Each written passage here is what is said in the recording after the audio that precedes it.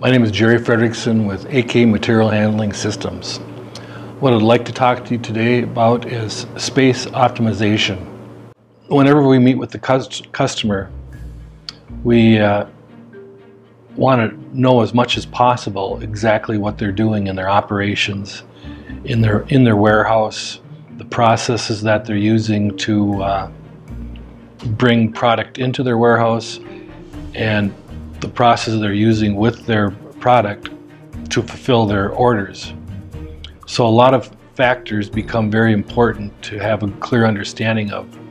Um, pallet sizes, the number of pallets, um, cartons, pieces, whatever the products in the customer's facility, we have to get a real good understanding of their product sizes and their current operations of how they're handling it and uh, ideas that they have that they think could improve their uh, flow, their efficiencies, and just making their whole system uh, work better.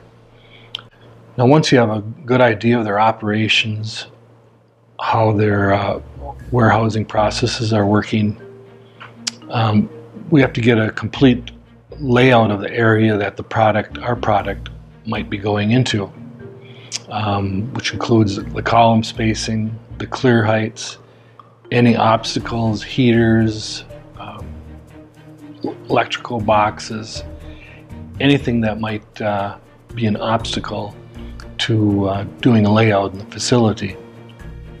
This was Jerry Fredrickson with AK Material Handling Systems, the design group. I appreciate you taking your time to watch this video on space optimization. If you have any questions or need additional information, you can go to our website, akequipment.com, or call us at 763 493 5015. Thank you very much.